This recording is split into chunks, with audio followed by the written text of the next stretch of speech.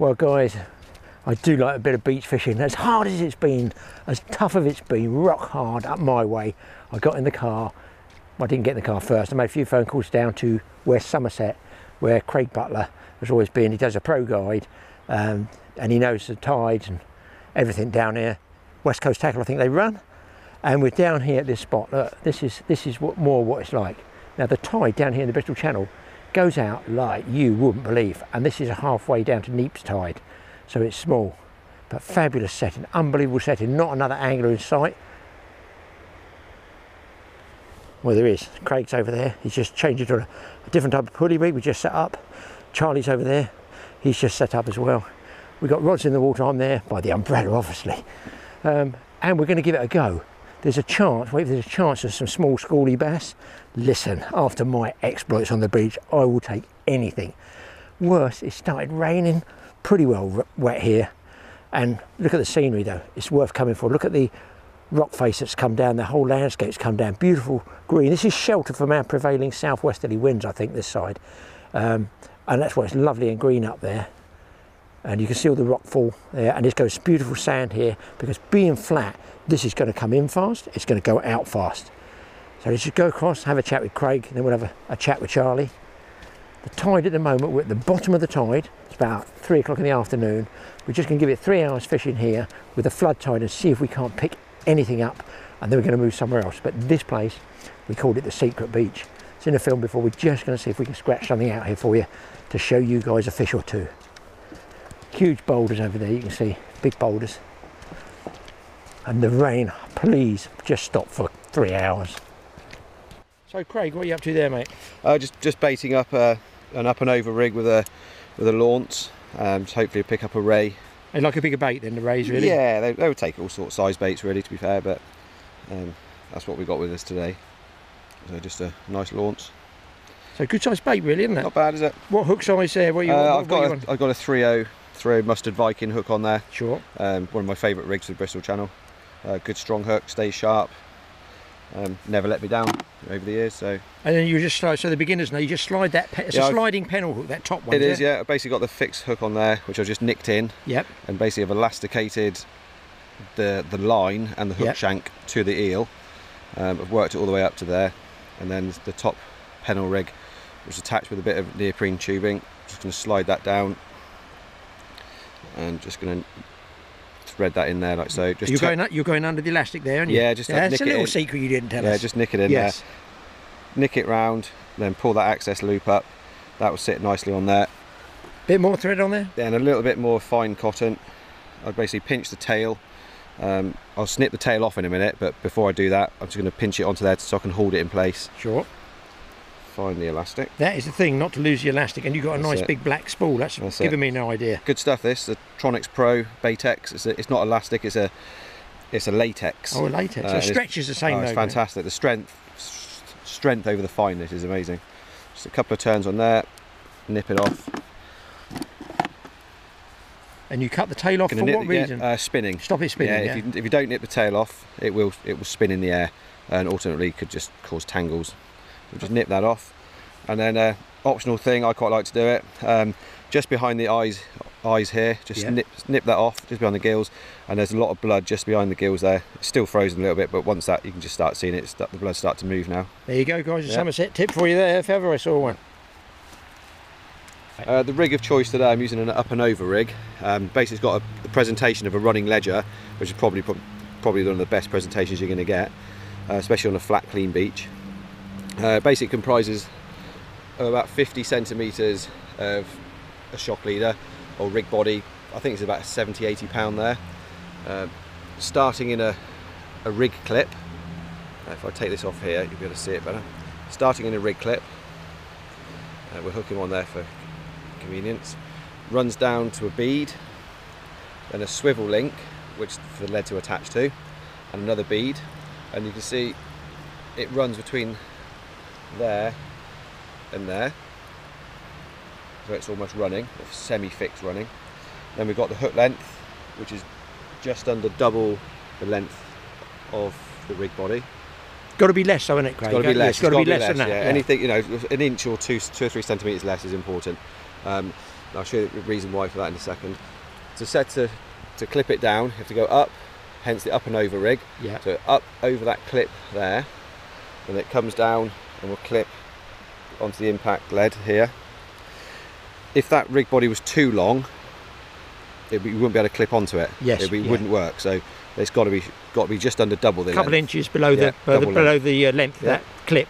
That's it. That'd be fine. And obviously, when when this hits the water, that impact shield goes up there, releasing it, and that falls off like so, giving you a lovely And presentation. it basically gives you a nice long trace as well, Yeah. doesn't it? we just lay them on the on the seat on the beach here. You can see. It'll just go out to cast, just like so, and they just lays there on the beach, away from the lead. If you you could use a pulley rig, with the same sort of similar effect, but you could find that your sand eel could land up with the lead, and it could potentially put fish off. But perfect presentation on a clean sandy beach.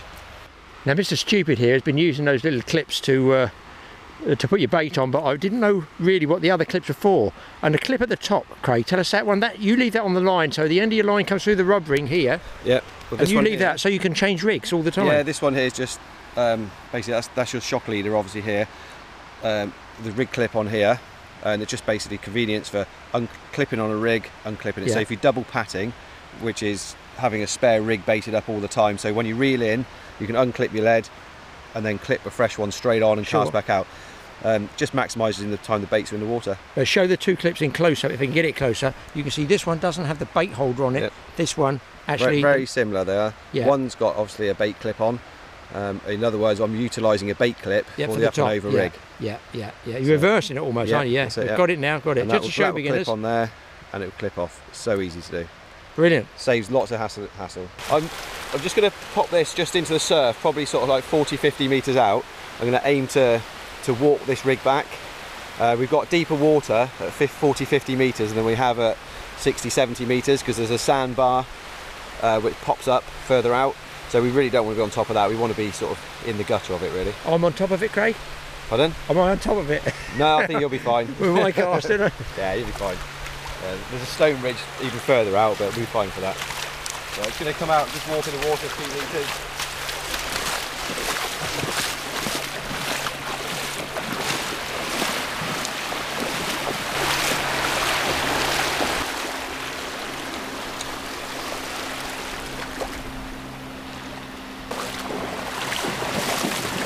Uh, the reason for the walk back uh, on this beach is it, it's a very flat, flat beach, um, and you'd be forever casting and reeling in.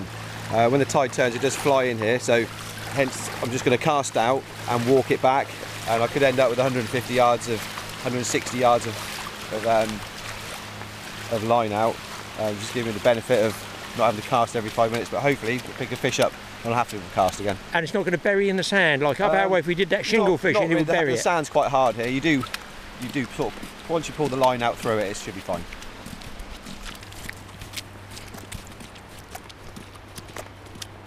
Bites can come in various forms. Uh, here they could be mainly mainly slack line bites here. When the tide starts to move quite hard from the left to right, uh, the fish can pick it up and move with the tide, and come in short, come in tight, um, and will result in slack line bites. So if you see your line fall Oh, slack and then just wind yeah, down that's it, yeah. like Don't- crazy. Yeah, if you get slack line, just just like say, wind like crazy. Not a minute to spare, not a second to spare, because you know you don't want the fish to drop. But guys, a few tips for you there already. Let's hope we get some fish to bag it up. Something's got to happen. We're going to go and see Charlie. See if he's got any tips for you as well. At Totally Awesome. There must be one or two tips. See what we can find out for you. So Charlie, this looks new to me. I mean, what's all this about? Um, well, it's just a simple uh, bait tray really to keep everything where you want it. Um, got say, you know, disgorgers here, little baiting tool, bait elastic, got a few spare leads, baiting needles, scissors, and my bait. Got the lids on just to keep the rain off. It's a bit drizzly. That's a good idea, isn't it? That folds in half by the look of it as well, doesn't Yeah, it? folds in half. Obviously, the tripod all folds up, fits nicely in the box. Um, and it's just handy for a day like today where your box is Miles away. miles away. Yeah, and uh, yeah, keeps everything nice and tidy right next to your rod. And you're not using a tripod, Charlie? No, no, I've got a sand spike today. Um, yeah, well, we're fishing on sand. It pushes in easy, holds the rod nicely. um, and you don't have to trek it for miles over the fields like we have been. Now I've got to tell you, he's a specialist match fisherman. I, I've got to show you this line lay. It's just immaculate. What's this about, Sean? I've never seen a reel in my life with line lay like that. Is that is that a special reel? Is it a special spool? Is it a special line? Tell us what it is. No, that is um, well, it's the Tronix Virtuoso XT. I think is about an 80 quid reel. Um, So no extortionate price then? no, no, they're superb, uh, and the spools, spools that they go with fit. Um, I think the new Shimano Ultegra XSDs. They fit your your Shimano Fliegens, your higher end reels, the bullseyes, They all Uh, fit. They're all interchangeable. all interchangeable with the Tronix reels. Um, for 80 quid. Well, I've got rid of all my 400 quid reels. Have you really over there? Yeah. Now, the other thing that bothers me is you've just walked out. I'll show you how far he is. He's miles out there. He's cast out. How come there's so much line on the spool? You must have a fine diameter.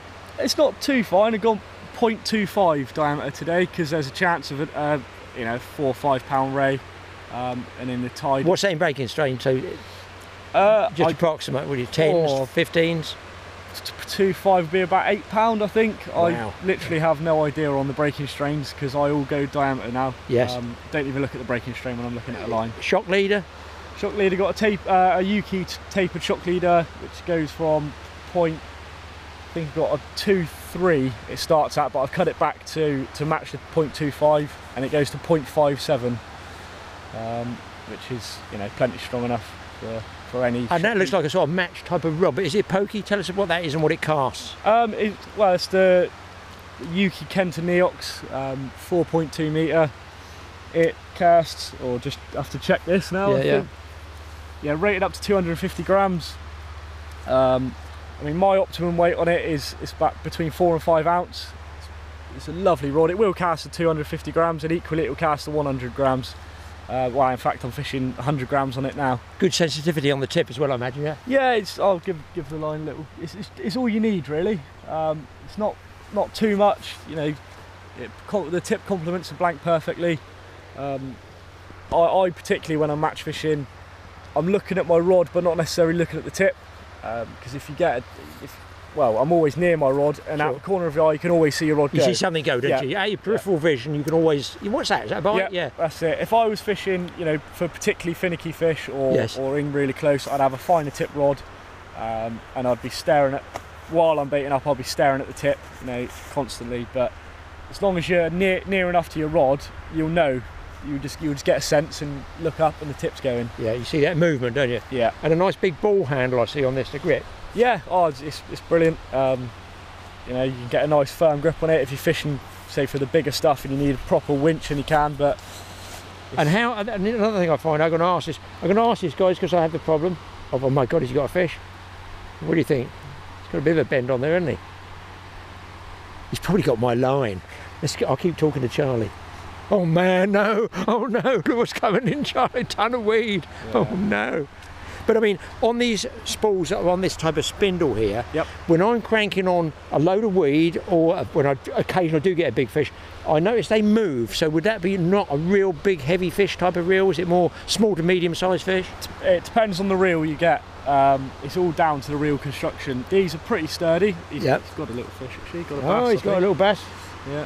Let's go and see this. We'll go and see Craig. He's got a fish there. First fish of the trip. Sorry about this, Charlie. Sorry about this. Just leave him in mid-flight there, Charlie. He's got a little schoolie and he's got the weed as well. Now, I don't mind weed and fish. It's when you get weed and weed and weed that I don't like.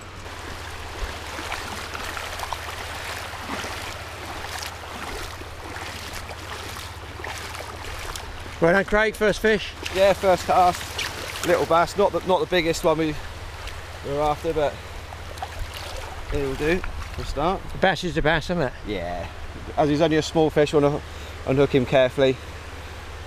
And that couldn't have been more than, what, 40 yards out, something yeah, like that? probably 20, 30 this one actually. Yeah, very, very close. So just Yeah. guys, you don't need to cast a long way for some of these fish.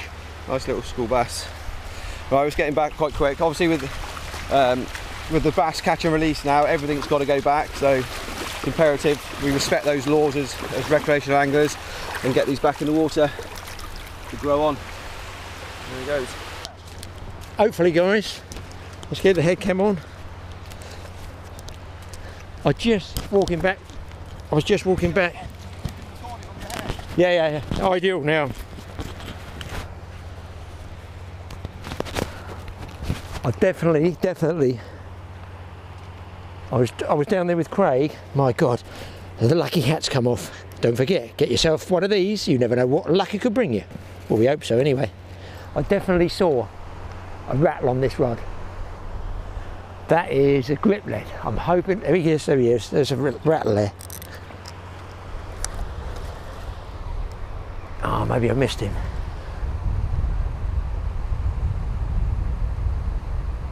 Now what I do guys, I just leave, if I've missed that fish, I'm to leave it out. I 100% saw a rattle on that, so I'm to leave it out and see if he comes back to it. That one was on a grip lead, I've got a grip lead on there. And this one was the one I want to go. That's got a sand eel, just a plain bomb on it. And it's now pulling slightly to the right. The current now, you can see it. And there's a little bit of wind, huge black thunderclouds. Luckily it's over Wales. I'm just going to hold this rod there because I definitely think that that fish was up there. Watch that rod. Smith, Smith, watch that rod top for me. I definitely seen that rod top just tugged in. He tugs again, I'm going to wheel him in. Craig's off out. Have another cast. Do you know what I'm going to wheel it in anyway, boys? I just love surf fishing. There's no surf here, guys. Look, it's, it's pretty flat, calm. All these little waves coming in. Very, very coloured water, but there's something about just fishing in the plain water. You've got a pair of waders on. You're in amongst the fish's element. Oh, I've got that drag set. I might have my other line. I did make a mistake of casting the two together. And I've got one with a grip lead and one with a, a plain bomb. So always cast a plain bomb down tide or downwind or down current and where you've got your fixed lead so you don't pull one into the other or indeed any weed doesn't crank into the other. I see my shock leader coming through the uh, through the water there. Oh yes, there's a kick, there's a kick. Oh, there's a kick. It's only a small fish, probably hopefully same size as Craig's. Oh my god, guys, I'm so excited. I've actually I've actually got a fish potentially. Mind you, sometimes you can get the the, the prongs of the grip lead um, just uh, tweaking in the sand and giving a false impression. Oh no, I see one, one worm, two worm. Oh god, no, there's nothing. Oh my god. How, look at that. Look at that. There was a fish on there. No, no, believe me. You've got to believe. Please, please, somebody believe me. I know there was a fish there. Bit of weed. Well, that's what I've got. I've got little little flash blades on there. There's a sequence further up, but that's hopefully what you can see. There's my grip lead. As the bait was on. See the worm at the top? And I'm too far out to bring that back, but I'm going to wade out a bit deeper, hopefully not get a booty. And fingers crossed. Oh, always keep close. Just give it a heave ho out there. The fish was on that top hook. I can see he's pulled the worm right down. Craig's marching away there he's keen. He wants to get another bass. What we'd like to see is a little ray or something like that. But listen, we've seen one fish anyway. But what a setting I'm fishing in. Short session, but at the right time with the right people makes all the difference. And I'm just walking back here, the bait. Now hopefully I've got my um, grip lead on the uptide side of the sand eel, which is ungripped, just a plain plain bomb, just a plain bomb. I do like this walk back technique because you know as a tide comes in you're a long way out. See now if I was watching my rod top instead of filming I've probably got that little bass which is what I'm fairly sure it is. I missed yet another fish for you people on YouTube. It's shocking. Cost me so many fish over the years. That's better. Right, switch these over. Bit of a breeze coming now. Not a bad thing, because hopefully that will keep that thunderstorms at bay.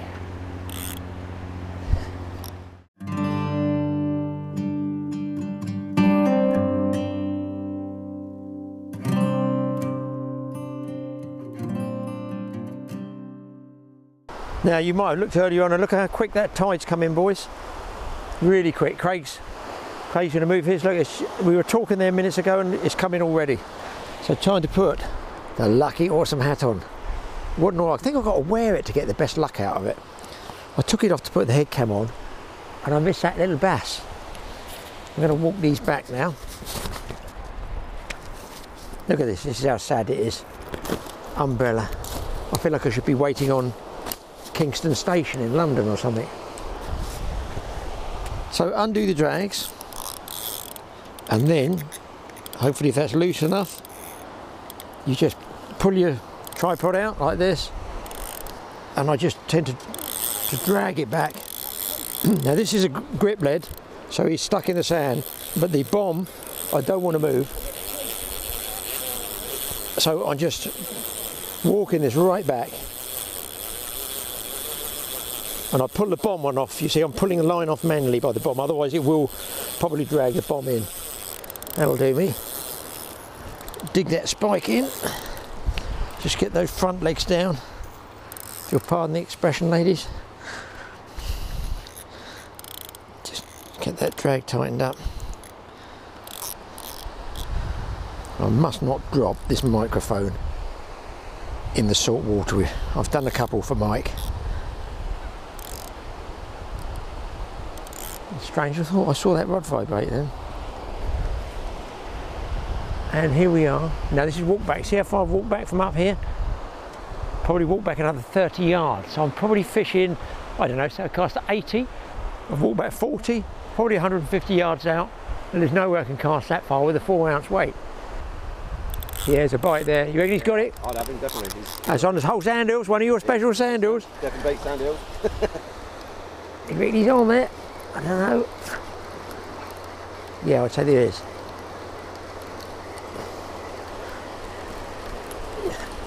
Hopefully I haven't got my other line as well. Do not want falling off fish. Where am I? Well, hopefully I haven't got my other line there. I don't see the rod. I think you're right. I think I uh, might put grips on both now, otherwise it's going to swing me in those rocks over there. Definitely got a fish here. Am I? Yeah.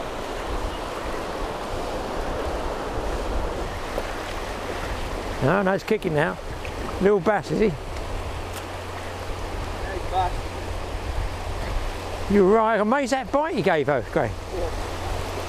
Gave hell of a bite for a small fish, didn't he? Oh no, it's my worm one. Sorry, I thought it was on a sand eel.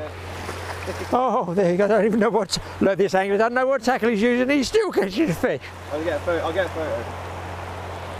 So you see, I've got that that little spinner there. Right, come in. I can hold him sideways if you want. No, just the, the light is really bad. I'll put it against the green there. Go, you go. You go that side.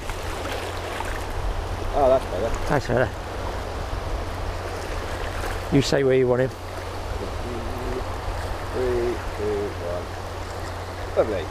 Let's get him back. Excellent. Save the blank. Yeah. I thought it was a sand on my sand eel. That's why I let him bang away. He goes. So many bass that, that, that size. Obviously they're about four, four or five years old now. And uh, this is way before any of the bass protection stuff. Yes. Right? They basically that's that year class. There's so many of them. Oh, that's really? Gonna, that's going to support the bass fishery for the next 15 years. Thing I'm want again, guys. I just don't need to have this mic fall off in the water like I've had before. Got a chunk of weed. I've got nothing on the sand eel. I thought the sand eel was on the uh, last time I had it. Well, maybe he's got off. Oh no! I did put the rod down to put the Caranosa fish there, and all that ball of weed is on the leader knot. So that's going to stop me winding my line onto the uh, reel. That's probably going to jam any time. No, give a little shake. but I don't want to shake the bass off. Here comes the bass. It's another little schoolie bass. He's even he's hooked in the, th- in the throat. I saw the bite, and he's just hooked underneath there. Let's show him to you.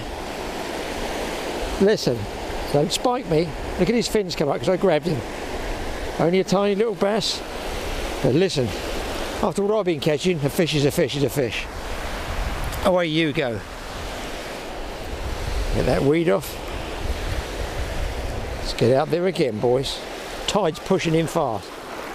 Ah, he's got a fish on down here. Charlie's on. Here he comes. He's out there.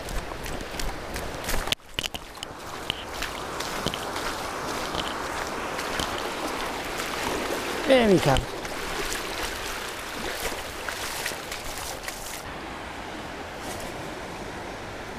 Charlie, that cannot be the size of your fish hook. Yeah. So, What size is that? that's a size 4 wormer hook. My God, it's tiny. Look what you can catch with a small hook, guys. well done, good show.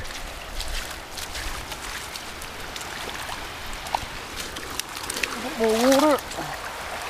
And we'll be off. That's got him, I think. There we go. Oh, look, a missile. But tell us about uh, the actual bite, seeing a bite.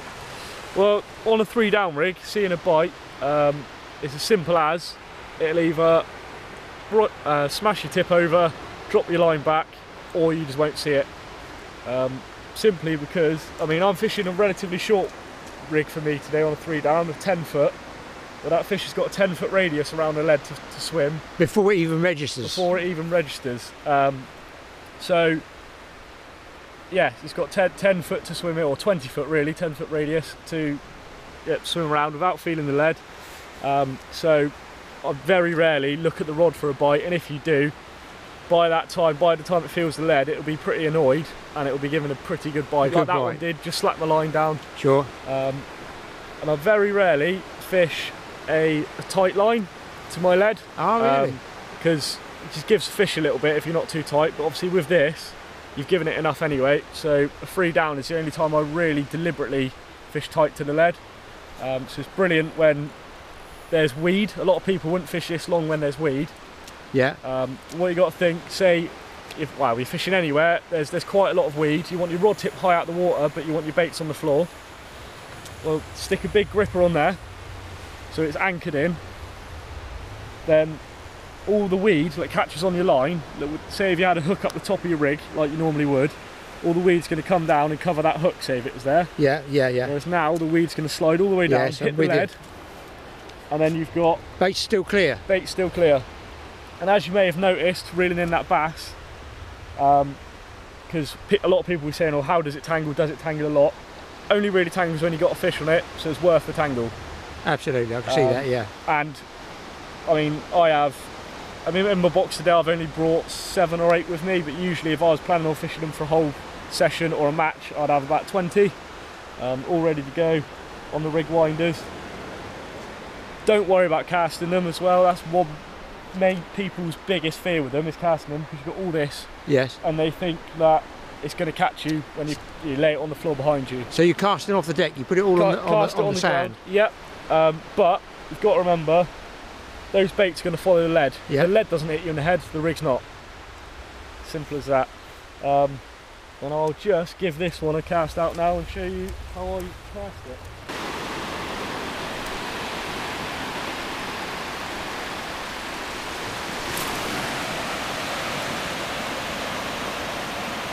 Wow, boys.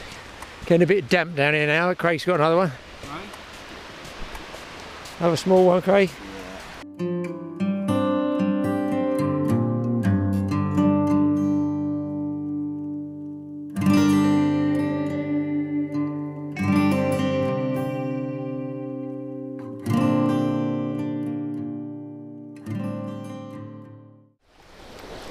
Had a real banging bite just then, guys. I probably missed it. Craig's just missed one. We're filming over the so we've missed so many fish when we're filming. Just no, I think there's a fish there. Could be another schoolie bass. Hell of a bite. There he is. See him in the surf out there. Gonna go out and meet him. Oh, a little tad, a little tad, a tad bigger. Here he comes on the surf. A tad bigger, guys. Hopefully you can see that one. Yeah. Again, they're. Just hooked in the bottom. He's, he smashed at the worm or even these sequins might have attracted him.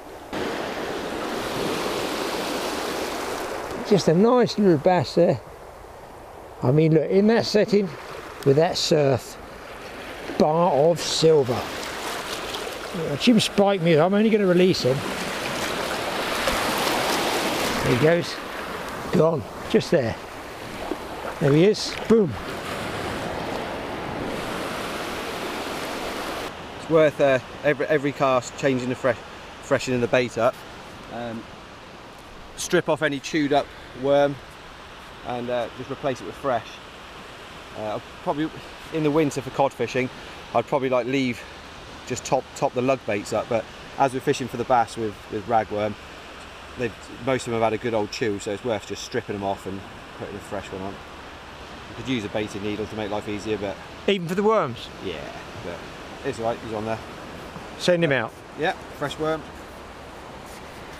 I'd be saving those, Craig.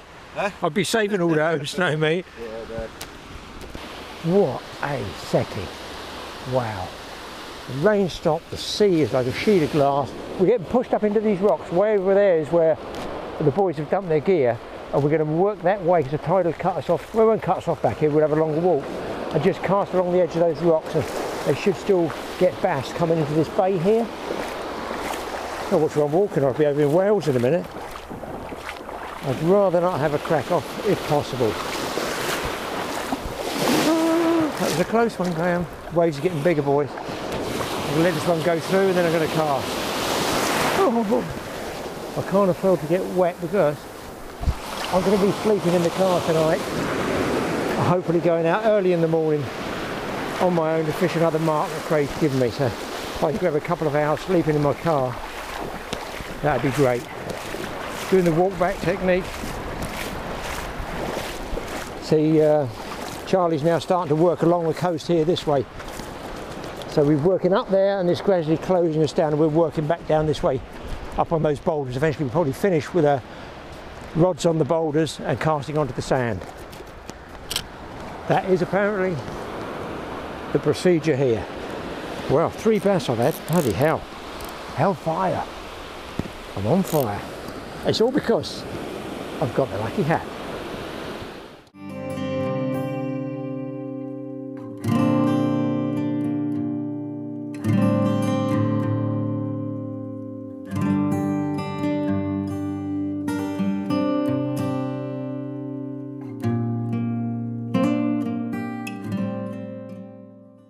During the summer, uh, looking after your bait is, is, is really important. Um, get yourself a, a cool bag. This is an IMAX one. There's, there's several on the market. From several different um, bait companies. It's irrelevant which one you buy. Just it's best to invest in one. Um, in the heat, especially the heat we've been having lately, uh, bait can be destroyed in a matter of hours. You go out fishing, um, setups, bait up with your fresh bait. It's all good. Hour into the session, it's all cooked, dead, whatever. So you, you've got to look after it and manage your bait wisely, especially during a session. Um, personally, uh, this is what I like to do. I've got uh, in here. I've got um, lots of paper to pack out the space if I'm not using all the space. I've got some ragworm, uh, which are really susceptible to dying in heat. I've basically lined uh, a maggot box uh, with with uh, newspaper, and I've got my ragworm in here uh, with a bit of shredded newspaper just to take up any moisture they might um, expel. Um, I keep that sat in, in the box here, uh, which is all nice. I don't use cool packs in here uh, because the, the cold of the cool packs can kill the ragworm, basically giving them hypothermia. Uh, it might only take 10 minutes to set in, it might die, they might die within an hour of, of setting up. But in the top section, I've got fresh bait and an ice pack in here, um, which will add, add, add a bit of coolness to it to keep the cool, coolness, but not too much. Lugworm's okay, you say? Lugworm, yeah, you can use use cool packs with lugworm. They're, they're fine with that. They can they can tolerate the heat, tolerate the coldness, but ragworm can't deal with it. And the same if somebody had fresh peeler crabs, you know, if they did pick their own, what, what are they like for keeping? Yeah, they're fine. Keep the peeler crabs in a maggot box, um, and but they're, they're fine with an ice pack. Um, Yeah. Wise to do that if you if you you know they could find that they will keel over and die if kept too if they're too hot. Um, so I always recommend keeping them in a bait box in a cool bag during the summer. Boy, Craig's got something different here. Look, they're all they're swarming around it. You guys are so this is nice. So you got tubs, red streaks, Yeah, I think it's a tub gurnard this one. beautiful Uh, colours good, on it. Good little bite. I was quite positive it was another bass, but That is beautiful colours in that one. And look at the big st- pectorals. stunning, aren't they? Um, pretty unusual for sure, really, I'd say, isn't it, Craig? Yeah, you don't get many of them, but this time of year you do, you do get a few come in, but nice to see for the species count, isn't it? Absolutely, something different, yeah. Yeah. yeah. yeah. Spiny thing as well. Nice. A good, good bite too. It was, yeah.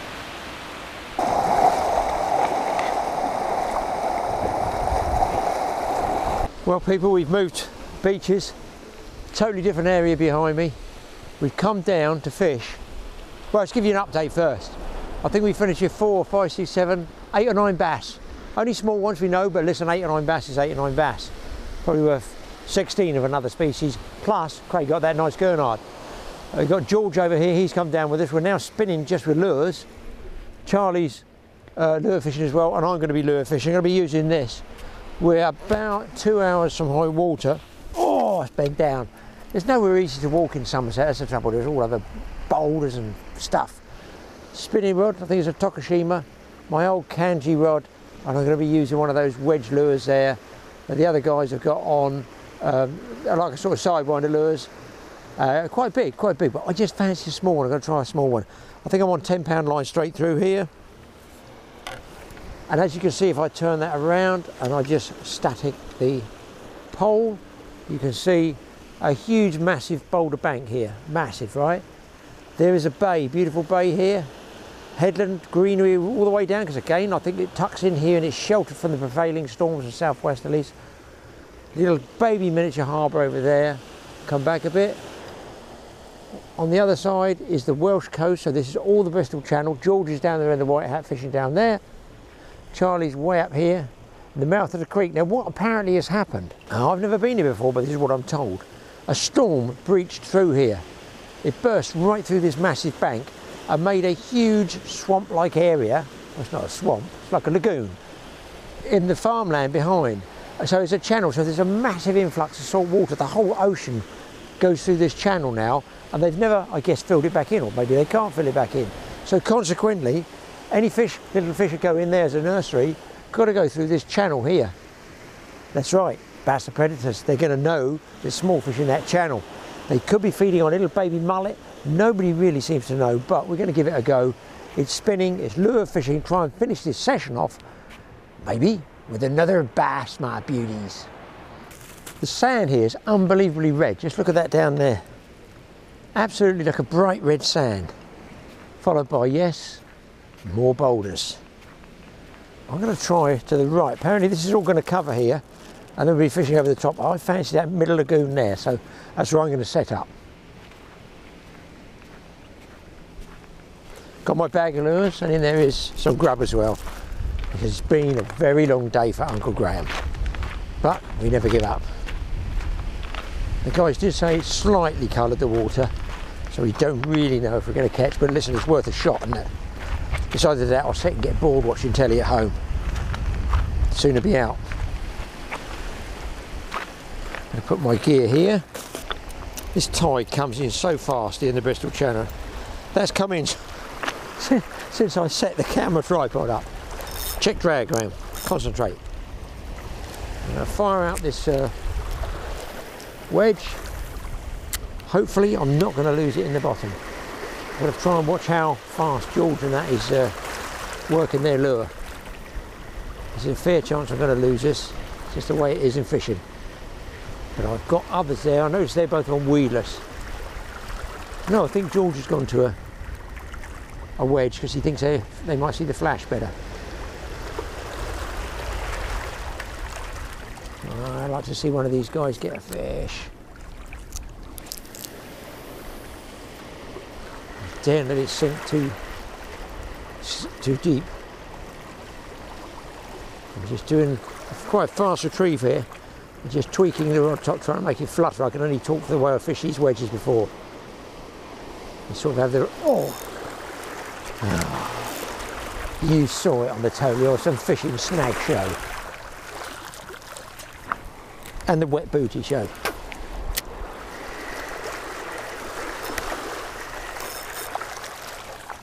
Oh, I got it back I think. Probably might straighten the hooks on that one, so this area is shallow. Beware. No, all good.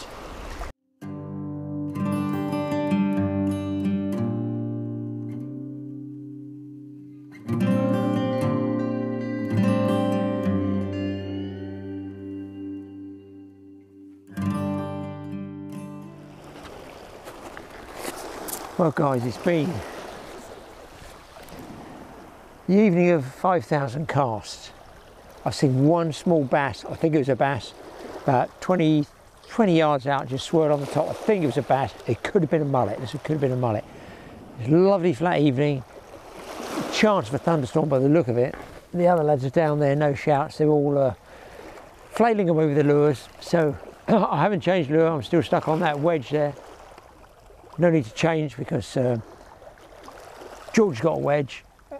George's got a wedge. Sounds like he's a multi-millionaire, full of money. Got money.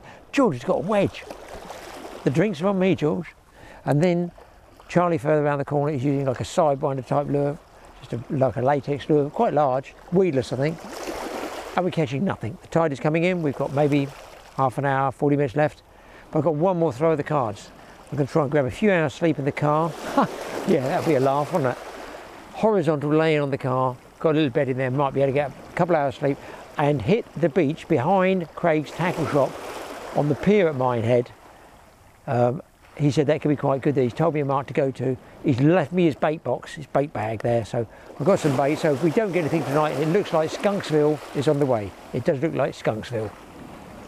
Unless one of those guys shouts, we'll see you guys when I get back to the car.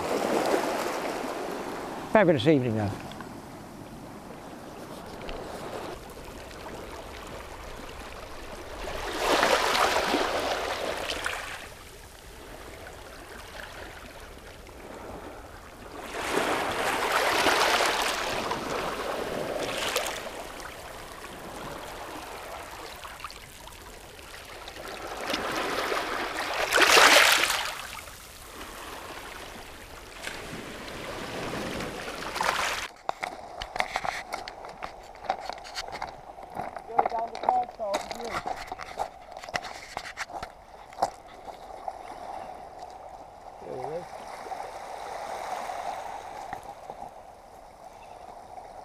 I think I looked at. He's coming in a bit peculiar, isn't he? Yeah. But the main thing is he's coming in. Hey, he was on there. Yeah. Witness, we got it. We got it on camera. we had one. Good one. Yeah.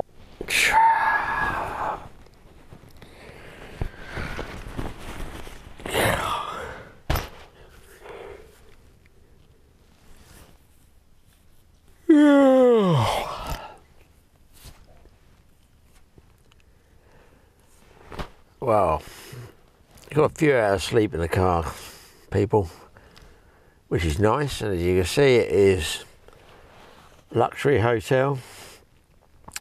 That's why I like estate cars, is because I can get a camp bed full size inside, stretch out, nothing worse. Because I've slept in cars over the years, of course I have. No, I'm not a tramp. It's just what fishermen do now and then. It's not the same when you're jammed in the front seats, sitting up with vertical. Oh, sorry, excuse me. But here's my view. Here's my office. The sun's just coming up. And my view across the back outside there is of the tide coming in, boats on the hillside there. I think I'm going to get up, get a rod out. I've got three hours of uh, flood tide coming up and then three hours down on this mark. That's what Craig was telling me. Fish three up, three down, and he's to uh, he's to be rocking up about I think about midday, and we might be able to find somewhere else and squeeze another few hours in. So we're desperately trying to find you some fish, boys. So we're down to blank last night. Other than that, bass that George lost right when the lure pinged out right at the last knockings. I, they stayed on. They, I, I couldn't. I had to come home. Home? This is where I live? I had to come back, pack up. I was tired, not driving. My age shouldn't be doing all this, really, but it's got to be done. So let's get out there if I can get out. Oh dear, either the child lock's on or the alarm's going to go off. Gonna have to climb right through the front and get out if I can on me. Oh, the weirdest dreams. Man alive, whatever goes through my brain when I'm awake, you don't want to know what goes through it when I'm asleep. But it's worth getting up for that. Look at that. Big cargo ship out there as well. Right, see if I can find a way out the inside of this car. Ah, I nearly forgot to show, show you guys what I'm rigging up with. I've got a single hook pulley pennel rig, put two baits on, and a tangle.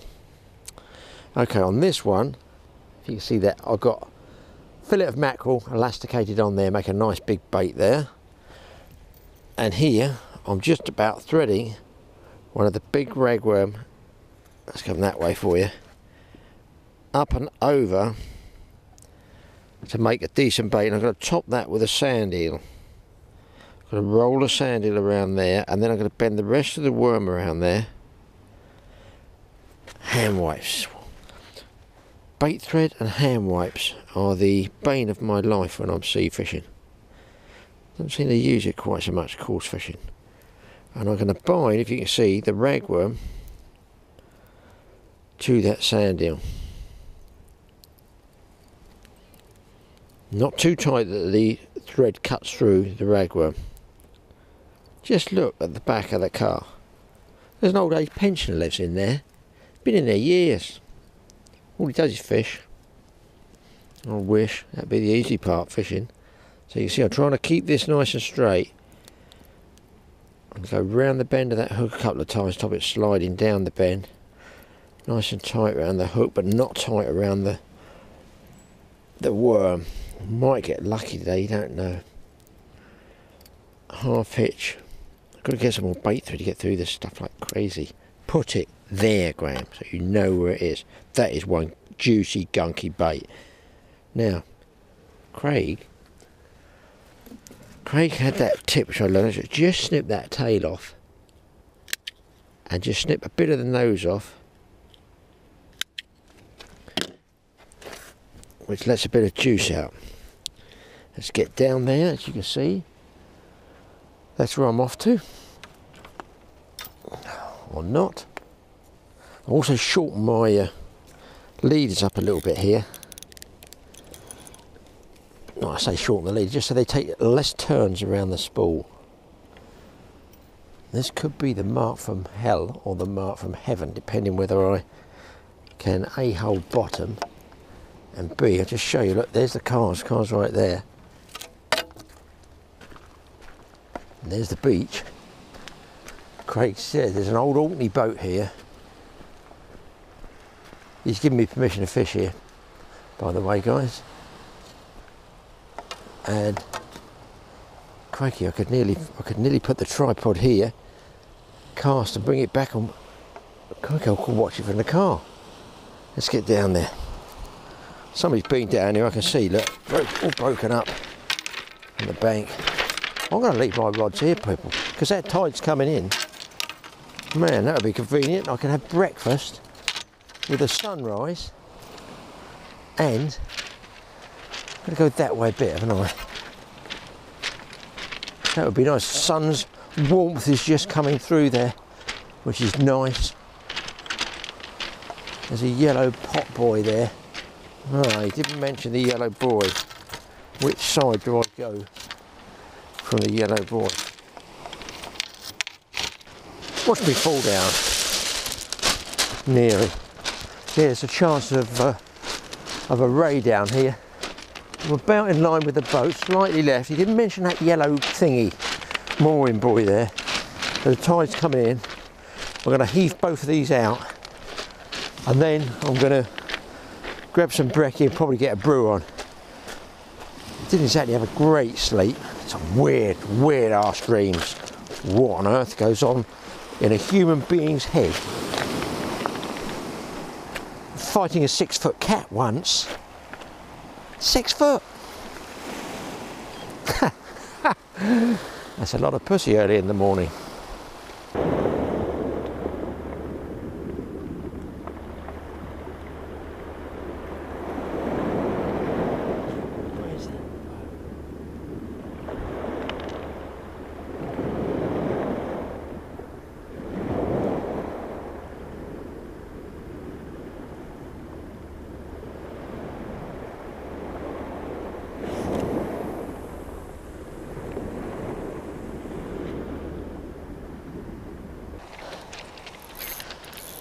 Right, here we are. Back at the top of the beach. I've got a bit of a mess down there. Trying to walk two rods up. And it looks like the lines are at least apart. I want to make sure.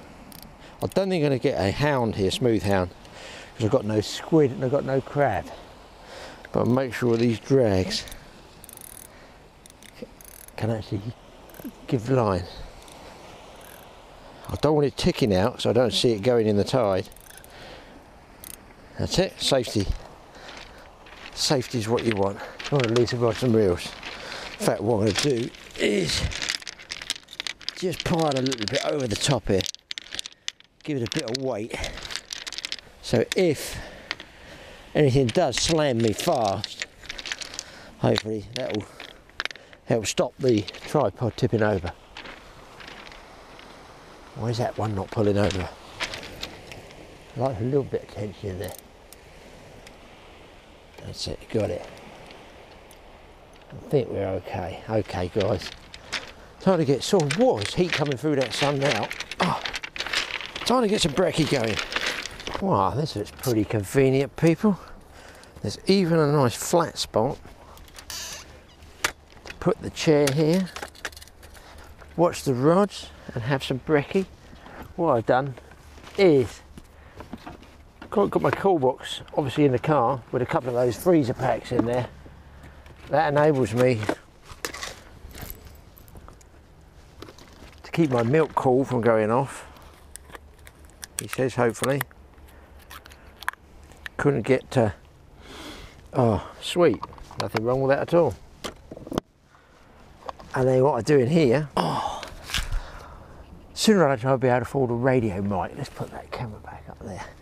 I've got my uh, cornflakes and raisins in here, nice big healthy healthy diet. Well, you'd think it's a healthy diet, but then yesterday listening on the radio coming down, I was listening to some doctor's program or something. It was on radio, whatever, and uh, I put the milk round the wrong side. And they're saying that the diabetes levels are caused by, if I want to say, was it carbohydrates that turn into sugar? So never mind that you don't have sugar. They say it doesn't matter that I don't put sugar on these cornflakes and raisins. That carb, I think it was carbs turn to starch, or they are starchy and they turn to sugar naturally. So yes, we've all been there. I'm sure some people out there have put sugar on their cornflakes. Well, what they're saying is don't because it's an accident waiting to happen when you're later in life. So I don't anyway because I know there is sugar in the raisins. But I mean, they're talking about orange juice as well. Well, I have orange juice, cornflakes and raisins in the mornings and I think that's healthy healthy food. Oh, apparently it's no good for me. What in God's name? What are we left to eat? I mean, it's easier for fish, isn't it? I mean, fish have no problem at all. They've got no choice today. They've got mackerel, well, they have. They've got mackerel, ragworm, and sand eel. I don't know what it is starch, diabetes, fish diabetes, or what, but that's what they're going to eat, I hope, today. Mmm. What a view. What a view. See, the thing is, all this is a lot of effort.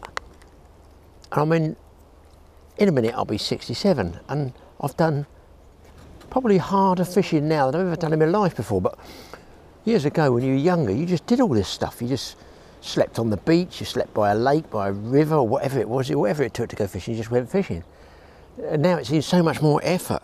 But I just say to people out there, if you don't make the effort, all of a sudden you won't be able to make the effort. That's a trick. You absolutely have to push yourself. One day, probably, I'm not going to be able to do all this you know, long fishing expeditions, pushing his body to a few hours sleep a night and marching two miles up and down these awful boulder strewn beaches down at Somerset. But by golly, they got fish down here. I'll tell you what, I would sooner walk some distance over awkward boulders and get some film for you people for a fish than say up my way where it's flat calm, you drive the car get out the car and fish in front of you on a beach and catch nothing. Graham, you're doing that at the moment, mate. You're pulling up with a car, the beach is there, and you're catching nothing.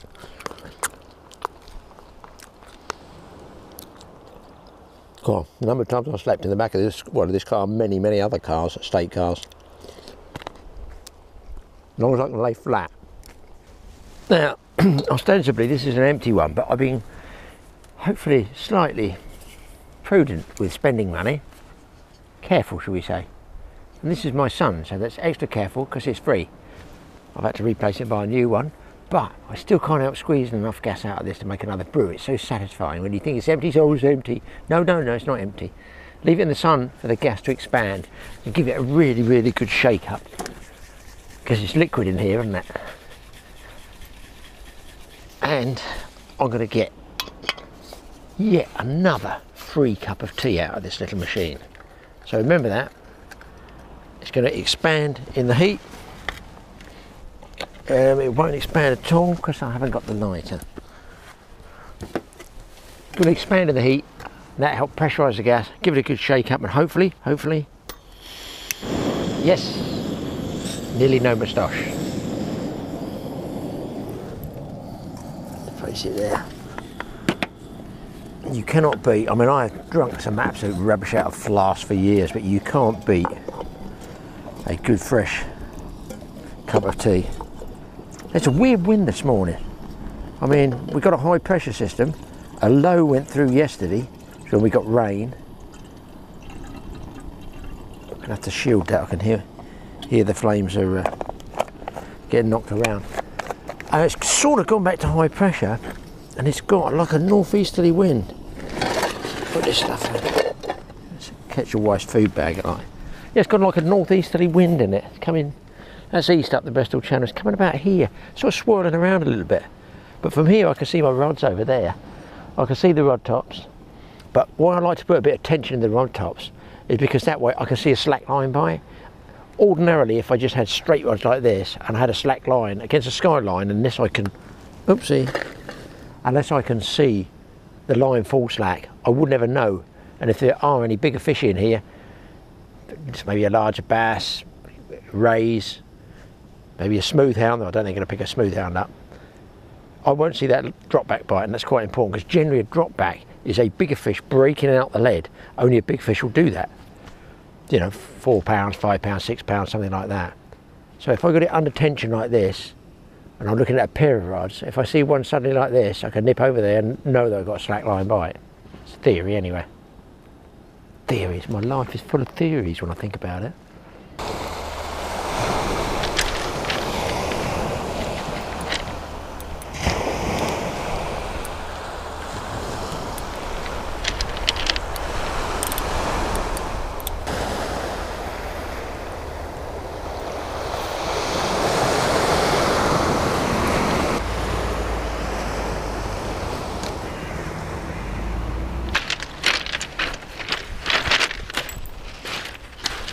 Oh God.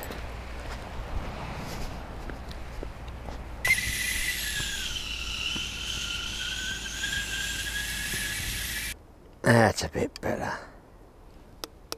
Nice cup of tea. what I'm thinking about is, obviously I can see my tea rods over there, motionless as per normal.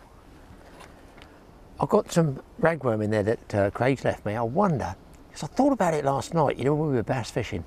I saw one bass in front of me, three of us, bear in mind, Charlie I think was an ex-junior England international, George was just a fishing machine, and I never, and I'm stupid, I know, but there's three of us who never caught anything at all, in the right place, the right time, flood tide, evening, should have been bass there, George got that one that came off. I, I wanted to use bait. I wanted to use a popped up ragworm off the bottom. I wonder if I might chuck it down there, a spinning rod, where there's little, not a poly ball, it's like a little floater ball thing that raises a bait off the bottom. I think I might try that. I've got nothing to lose except the tackle. Graham, don't do it. Why not do it? I think I'm going to do it, guys. So how I've rigged this up, I've got this, uh, whatever it is, Nomura small, I think it's Nomura reel, that one, and the kanji rod. Yes, Nomura. It is, it says 2.48 metres kanji, casting weight 40 to 80 grams. I'm right up here, I only found this today, and I've had it, what, a couple of years? There's the words there. It says unbreakable. My God, an unbreakable fishing rod. Is there such a thing? But it is a really nice rod. It's one of my favourite rods. Caught a lot of fish on it. Quite big fish actually. So my rig, I've made a sliding boom here. I'm hoping you people can see this. Look, sliding boom, an expendable old roll of lead. Just a, you know, weight's going to get snagged and probably will get snagged. I've gone through the bead twice and knotted it there. Okay. Then I've got a short distance here to the hook. And then I was about a 2 is it, that hook? And I've got one of these pop-up beads and I've gone through that twice so it sort of locks it. So if I go slack, I can move it like that. And I'm going to put a ragworm on here and then put the pop-up right next to it. Here's how I'm going to do it. Very nice little bait bag that Craig's left me here. Don't particularly want a huge ragworm, just a ragworm. That one would do nicely. There we go. It's just something to try. Fact, this is a tail of a ragworm. That's a half a ragworm. I don't want to catch half a fish, do I? Maybe all small ones. Come out. And these are nice and cool, I have to say. There's a nice ragworm. So, tail, pointy end, tiny little pinchers. Go through the pointy end with the pinchers there. Mouth, mouth, throat, call it what you like. I like to get a little bit of wet on the shank of the hook like that, juice or spit, just so it, it'll roll round easier. Not, probably because I've normally got rust all over my hooks. I'm going to thread it round, they're going to just pop it over the eye. Look at that juice coming out. Man, I could eat that myself if I hadn't had those cornflakes. Now, I'm going to slide that pop up just there and hopefully it's going to fish like this. That's the, uh, that's the principle behind these. I just chuck it, I just got to lob it 20 or 30 yards to see what's there. It's got to be worth a shot. Well, both rods are still straight out there. Not a sniff. There's a brick wall running out along there, which one assumes ties up with the mark over here. Just as a point of interest, this is flooding. It's a flood tide, so it's going to run from west to east, it's going to go left to right. I figure it's going to run harder on the ebb because there's a big cut round in this bay round here over by that headland. So any tide flooding up this way is going to get kicked off a bit by that headland. That's my way of looking at it. So it's going to be pushed out. When it starts to ebb, it's going to go this way. All that volume and area of water is going to come churning along here. And I think it's going to pull a lot harder on the ebb. I may be wrong, no doubt the locals will be able to tell me where I'm going wrong, but that's how I would think that the ebb actually pulls harder than the flood. Now I've got two grip leads out there, one, two. This doesn't have a grip lead, I'm not going that far, but I don't want it dragging with any current into my other lines. So I'm just going to throw it slightly, very slightly light. Who knows if this works, guys? All in life's an experiment, isn't it? 30, 40 yards. Not bad depth here, actually. we go back up here. Oh, there's another man down there. Hi, hi everybody, hi. People up there think, who's that man waving to himself for? And of course, I can easily fish. My third rod from the same holder, as you'll see my shotgun tube there, specifically for spinning rods, just to chuck anything light out as a sort of as a sort of bonus. That's all it is. So, as you can see, I'm all set up.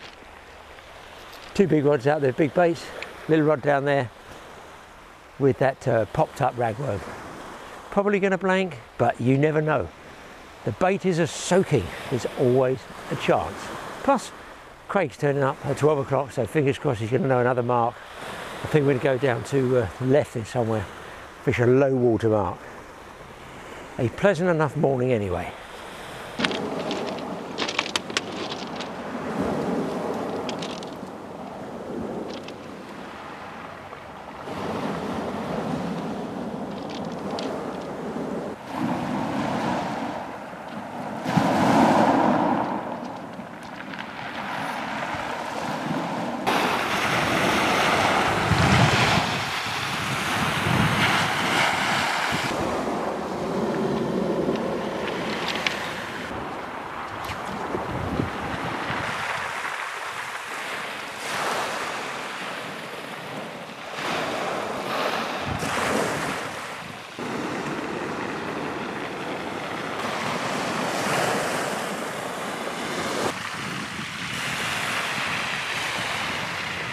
Well, it is uh, quarter to nine, guys.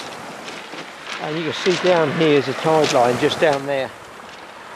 That must be the last of the high water tide line. So I guess in the next, might even be top of the tide now. Might be top of the tide now. Down it's going to start pulling left, so it'll be interesting to see how uh, how hard that tide uh, does pull left. I think it's heavy now. Well, all we've got to do now is hang around till midday and wait till Craig turns up because it looks like there's no fish on this beach. Oh, having said that, just seen little fish jump out. I'm going to have to bring that pop-up ragworm right in the margins. Might be worth putting a lure out there, you know, people. One of those weird mornings.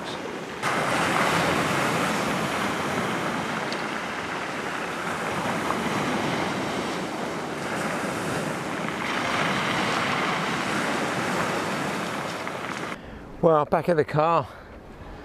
Yes, blank. So, just to bring you up to speed, nice little session down at the flat surf beach had those small little school bass. Evening session spinning with lures, El Blanco, except for the one George lost. Third session here after my all night in the car. El Blanco, Craig comes down, helps me out, he's down there. We're packing up and moving, he's just moving his gear, winding just down here, even with Craig, El Blanco. So we got one last throw of the dice, guys. A low water mark further around the corner there, because this, as we drops down, is not so good. He says a low, wa low water mark around the corner. I need some sleep. Right around the corner, we're going to walk all the way down there, let the tide go down. It's big boulders, so we can't fish at high water because your line gets snagged with your lead in the boulders and it's a long cast to reach the sand. So basically we're following the tide down, which gives us the distance to get down onto the sand. We've got about three hours down, three hours up there, after which I'm going home. Fingers crossed we can show you a decent fish.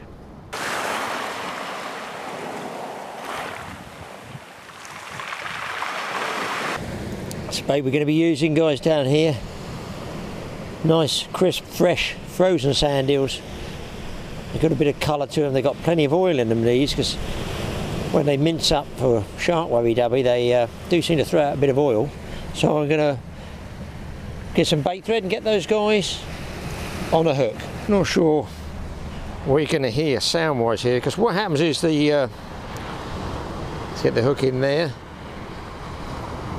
the actual mic, and this applies to our, all of our cameras really, they tend to pick up these waves behind and that breaks up the actual voice sound. We can't seem to adjust it. If we, have, if, if, if we adjust in the edit suite the sound upwards, it also brings up the wind noise, the surf noise, stuff like that. Now, I've threaded that one up so it's straight like that. Then a bit of bait elastic to bind it on the hook. Now I'll probably have to give this one a good heave ho and hope nothing comes adrift. I might even cast without clipping the bait down so I want to make sure up here that that bait is clear I've also got to make sure that I cast past all these boulders onto the sand I'll check with Craig first if I'm able to cast that far. Am I going to reach the sand? Is it 100 yards, 80 yards? There's a little bit of breeze up now. And that might kill off my distance. The trouble is you try and cast too hard and you might get a crack off or something bizarre happening. Hoping you're seeing this on there, but the bait in your pocket, Graham. So there's a pretty well, a nice fresh bait with a bit of guts coming out as well. Hand wipe. This is what you've got to watch people, just negotiating these boulders. These things weigh like 50 to 60 pounds, some of these each, if not more. And the thing is with a falling tide, you know it's falling because if you can see here's the barnacles, with a falling tide, they're wet. They ain't great when they're dry. When they're wet, they're pretty lethal. A broken ankle here is not what we need to be filming. So I take my time, pick my way as a wobbly one. And what else has happened here? Craig said they had a big storm and it's loosened all these big boulders. Whereas before they were like bedded down apparently and they were you could tread on them and they didn't wobble. Now look, look, look, see, look, see these wobble? Some of there, that one's moving. Be so careful. So I'm going to send this one out unclipped, I think, people. Someone's telling me to. I just want to make sure it's clear. I've got a giant seven ounce lead on there. Watch your footing, get a good footing, guys. Which I haven't got. Man, is difficult. I'm just going to lump it out there as best I can. I'm hoping that's going to reach the sand. Well, there's a tide there. Yes, I think I'm just on the sand. I just dared to move it one bit. Just a little bit. A ripping tide. These are neaps, and that's what you. I'm not even sure I'm going to fish a second rod, to be honest. Craig's over there binding the bait up. He's all keen. He's all keen to get that bait in the water, aren't we all? Just do not fall over, Graham. How many millions? Oh shit! How many millions of tons are in here, people? Look at them. Look at the size of that one. Already, since I've cast this out, people, the tide has dropped. Look, from there to there. I'm going to move my tripod down, and I've managed to jam my rod up there before I even throw the second rod out, even bait the second rod up. Wow. I think I could uh, take a job training at the Bolshoi Ballet after dancing over this lot. Wow, these wet ones are really slippery. I'm going to go up tide a bit, guys. Oh, wow. This is why you need to have somebody like Craig with you as a guide because he knows where to go, which areas are dangerous. And of course, should anybody have a slip, anything like that, he's there to help. Bit nerve-wracking for casting, for sure. I'm going to send this one out unclipped as well, people. I just want to make sure it's out there. I want a halfway bad cast, actually. I think I've got two good baits that are clear.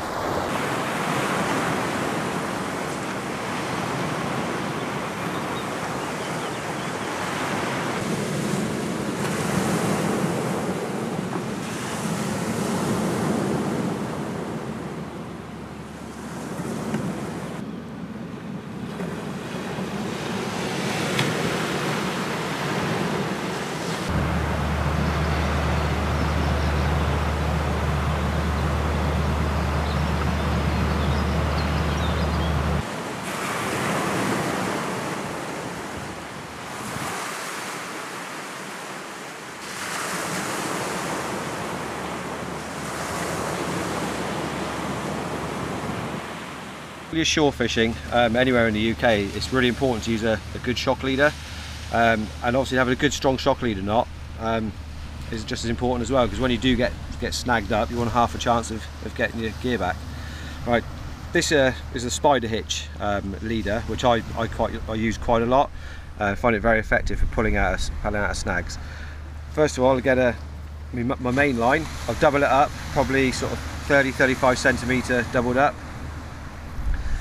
then I just hold the two together and make a loop and pinch it. Then I go round my finger once twice three times through the loop like so. Moisten it and then tighten it up. Pull for, for a few seconds and then just relax and and that pulls the knot nice and tight. Always in important to use saliva um, not to, to melt the line through friction and heat. Trim your tag off so you've got a knot and you've, you've basically got a loop like so. Probably about six to eight inch loop. We've got got the loop there sort of six to eight inches of loop of line there. I'm going to secure that between my legs quite tightly. Grab my leader which is 60 pound Berkley Trilene which is a fantastic strength leader uh, through the loop then pull a four or five inches of the, the leader through then put a kink in it in the loop so that's all equal. It's really imperative that loop is equal otherwise it won't work. So pull that tight and then we get the leader tag and run that down once twice three times around the loop. And then we have to pull push that through the loop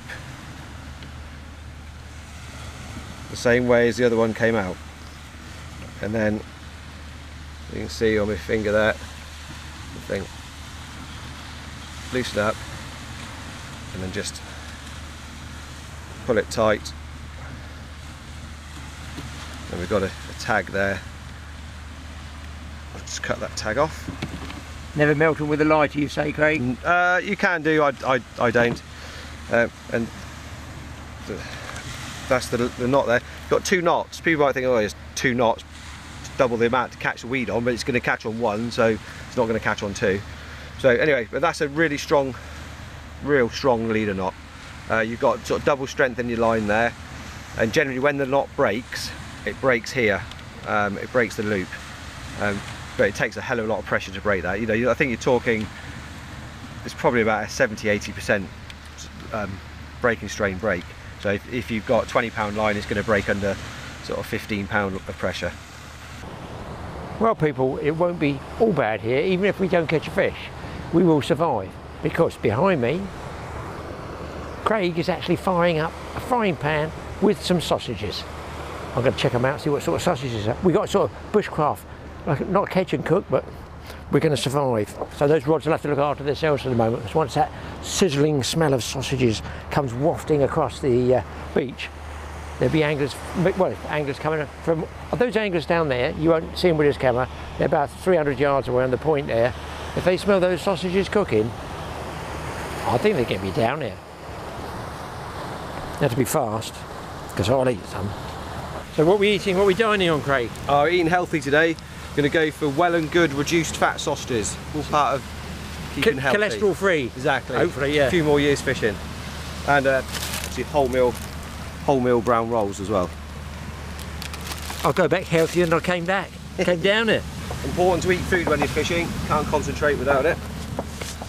You do this when you do your guiding trips sometimes, Um, do you, Craig? Some, sometimes when weather allows. Obviously going out in a pouring rain and howling gales, cooking sausages is not ideal. Yeah. But um, as and when, try try to spoil my clients. Exactly, I bet they like it, even if they don't catch a fish, they've Exactly, got, yeah. they've got At something, least, at least have a decent bite anyway, at least. Yeah. What sort of time do you give them for your guiding, Craig? You know, what do you, Um, what's sessions, sort of average day in the summer? sessions are generally between four and six hours, depending on the venue and the conditions. Uh, so anything between that really. So it obviously depends on the mark and the conditions. So. And, and getting there, you know, access and stuff like that takes yeah, time get- to get yeah, there. and, and, and how is that? Sometimes it might take sort of 40 minutes, half an hour of, of walking, but that, that you know, generally four to six hours in the session from start to finish. Well, we've been about 15 minutes, no nibbles yet. Tide's putting really hard left. Quite a bit of weed in the water and a bit of colour where it's stirring up with the tide dropping lower onto the sand, I assume. But there's always colour down here. But there's no shortage of somewhere to park your butt. It's just with all these boulders, I can't seem to find a flat one. Anyway, it is what it is. Just look at the barnacles here, guys, I'll show you. These are all the barnacles, that's there. They give you a bit of grip walking over. And when you see barnacles like this, you know that's going to be covered with water. So it's a little tip for avoid getting, getting cut off anywhere. That sort of applies to anywhere. If You're looking for weed growth and things like barnacles, limpets, anything like that. tells you there's life on the rock. That means it gets covered by seawater. If it gets covered by seawater, you've got to be very careful you don't get cut off. Some of the marks that Craig does take his uh, people to, when he does his guiding, you do definitely, you could get cut off a couple of them, and I wouldn't entertain, and I know where they are further up the coast, I wouldn't entertain going on my, on my own because each tide is different, and the wind can affect the tide differently as well. Make it come in quicker, maybe hold it back. So if you do want to fish some of the good places, you get in touch with Craig, and uh, hopefully he'll point you in the right direction, or if not, take you on a guided session, at least you in with a shout at a good spot hopefully we at least see one fish, please. It's not a lot to ask, is it? Great setting though, I have to say. Oh, ketchup as well. Oh my Brown word. sauce. Got to be done. Brown sauce? Yeah, I'll go for whatever's going. Good man. Thank you very much, Craig. Thank you. Bon appetit. Uh, napkins? Serviette. Serviettes. Lovely guys. Hmm.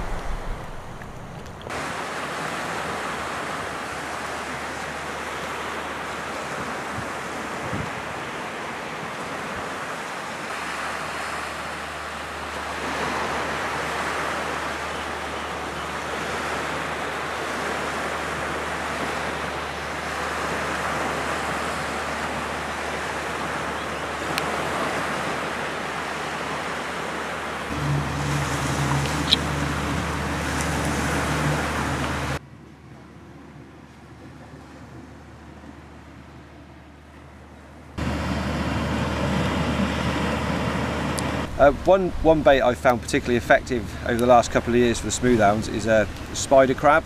Um, it's a spider crab peeler, obviously. That that being the um, the main reason we can use it. If it wasn't a peeler crab, it'd just it'd just be more as impossible. But like all crabs, they molt, um, and this one is in a is in a molting stage. Uh, it's been frozen, and I've just defro we've just defrosted it. I'm going to show you how to how to prepare it. Firstly, get hold of the crab, pull the pull the legs off, like so, and put them to one side. You might need a pair of pliers uh, because some of the a lot of spider crabs got sharp spines and, and spikes, and they'll just take make short work of your skin. So I prefer to get a, a pair of pliers and just sort of crush crush it without damaging the flesh underneath. Just just gives you a little bit bit more resistance really. I concentrate on the leg sockets first. If you just go around pulling the legs off, you're highly likely to pull a big chunk of the flesh out. Once I've taken those legs, crushed the leg sockets, you can just use your fingers just to pull off the shell, like so.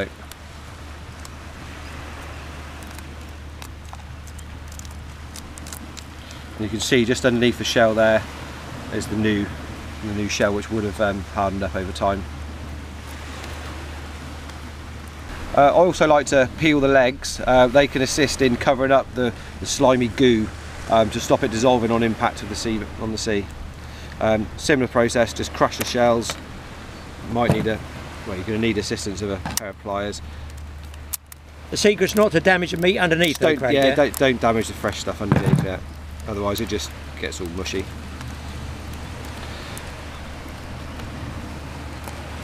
Would you use that as a bait on its own right? Uh, you, you could do. I, I, I don't tend to use it the leg on its own, but you could. Um, I tend to sort of get the get the crab raw like so, cut it in half, and I and I'll lay that over the open flesh um, when I bait up.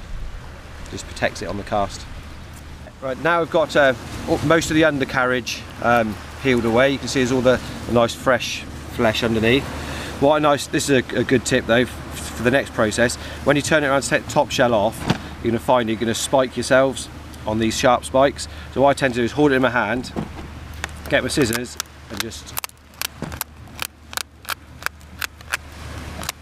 clip away any of those sharp spikes you can see which are going to have potentially stab you in the hand, get a shot of them. Now you can begin to just pull away underneath the underneath the lungs, this strand here. Now I've pulled the, a bit of the shell away, the top shell will come away quite nicely, uh, exposing all this, this lovely stuff here. Next thing, I like to pull up this side, just on the side panels here. You can see the lungs, or the dead man's fingers, or what people call them. I like, you know, I like to take those away. Apparently, you know, their fish don't like them. I don't know how people know that, but I'm gonna I'm gonna go with that though. They're not eating those on a fresh crab anyway, are yeah, they? the human wouldn't eat them. Um, I, I, shouldn't think a fish is gonna is gonna sort of like shell them out or anything, but you never know. It's better to be safe and sorry. It's not gonna do any harm to remove them. And there's a little bit of crusty white shell here. Just sort of like squish it out and put it out. Any other little bits of shell you might find en route to it. So that's those that side done. And again, same again this side. There's another set. You can see all this nice juice coming out. Just remove those those lungs. It looks like roadkill to me at the moment, Craig. Oh, very much so. and it's not exactly the easiest thing to bait up with either. Easiest. When they're fresh, they're a lot easier. Once they've been frozen, they become really, really delicate. And you know, if you're too heavy-handed, you're just going to end up with a just complete mush. I'm going to be as gentle as I can, and it's still going to end up in quite a bit of mush. Right, that's pretty much the the crab shell. There's a few um, few bits and pieces in there, and get rid of that. As, as you know, as you go along, you find bits you can pull out. But anyway, there, there's the completed peeled one. First of all, I'm going to cut it straight down the middle.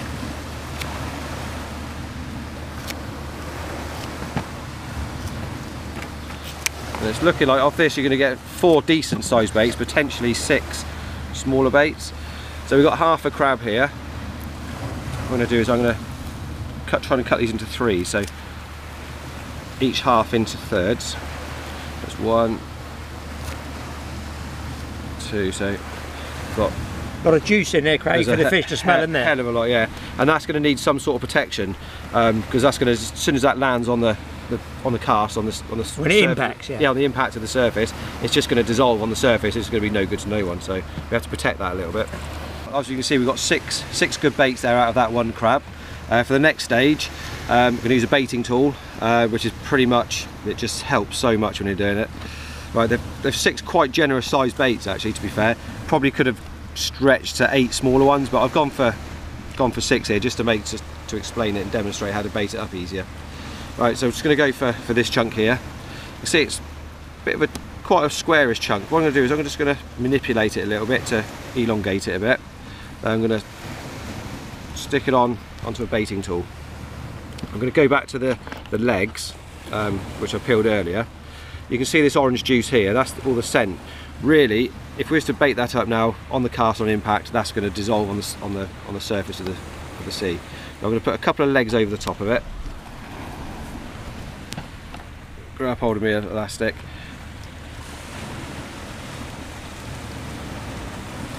Just elasticate that to the, the baiting tool.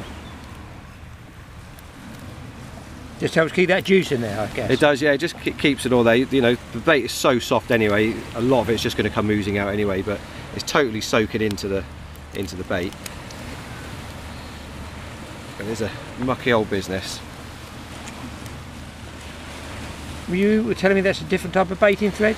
Yeah, it's the uh, the tub's a bit bit worn now, but you can just see the Tronix Pro there. But it's uh, Tronix Pro released it uh, a couple of years ago, a year and a half, two years ago. Uh, it's a latex. Comes in uh, fine, medium, and heavy, and even the heavy is like mega mega fine, but strong as anything. Um, the stretch on it is pretty amazing, and um, yeah, it's good stuff. I definitely favour it. Trick is not to be too shy with the with the elastic. Just you know, get plenty of it on there. Right, I'm going to get the hook, and again with the baiting tool, just it helps the baiting up. Got a hook, going to nick the hook just in the in the bait there. Get it in there, that is. Clip it in there, turn it round, and then put the hook securely behind that shepherd hook type of um, hold there.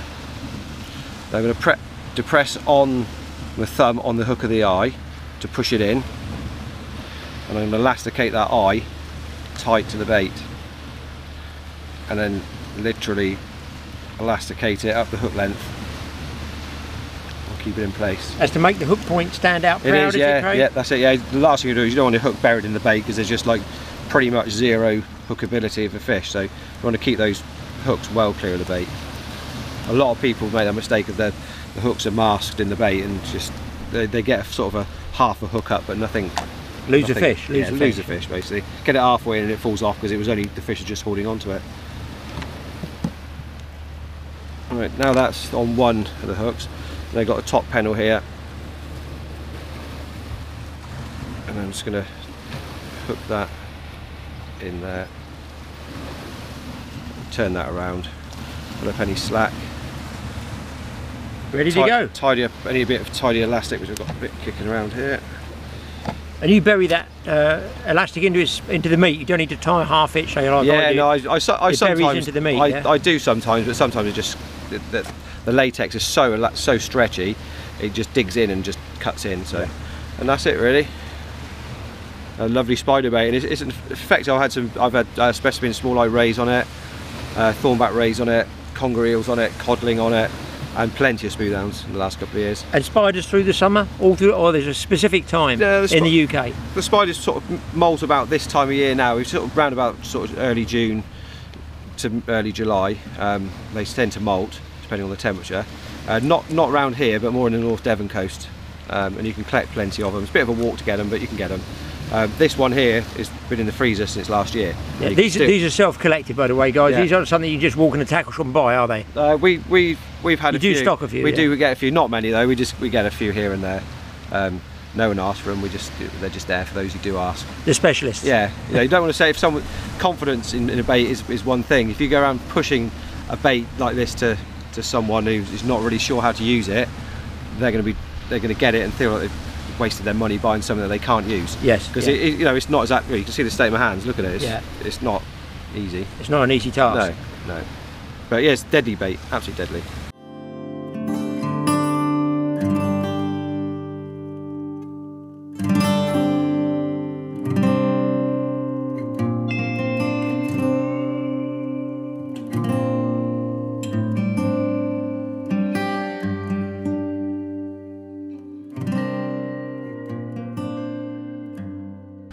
I use uh, cocktail baits, I like to use one of these double baiting uh, tools. Basically, it makes makes life so much easier, and it keeps the uh, the bait bait nice and straight. First of all, I get for this bait. I'm going to use uh, a sand eel and bluey combo cocktail. So what I'm going to do is kebab the sand eel onto one of the pins, and then slide strip of bluey just under the skin onto the other pin. And then just lay the two side by side level them up. So basically what I've done is cut the head and tail of the sand eel and I've cut a piece of bluey to the same length as the sand eel and then what I do is push the two together flesh of the bluey on the outside because most of the oil's in that. Then I'm going to do is just a few turns of Batex just to keep it in place get the hook. This is where the, the tool comes in handy. Just going to push the hook between the two bits of bait there. Turn it round. Just clip it underneath that hook there. Pull that hook out of the way. And continue securing the two baits. You can see the line there. We'll lay the line over the sand eel. Just elasticate the line to the bait. Just work your way up and down, down to the bottom, around a few times, then back up, and then go back down, and back up. I go about sort of three to four times, and then just finish it off with half a dozen turns there to secure it.